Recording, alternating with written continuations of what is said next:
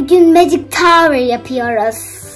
Tata unicorn seçtim. Deniz kızıla da vardı ama bu daha güzel. Şimdi kapağını açalım. Şöyle koyuyorum.